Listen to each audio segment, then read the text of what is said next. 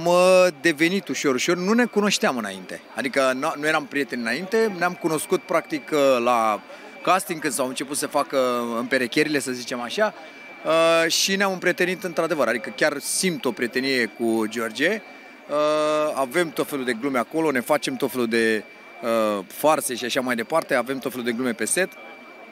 Simt că s-a creat o prietenie acolo și cred că va crește din ce în ce mai mult.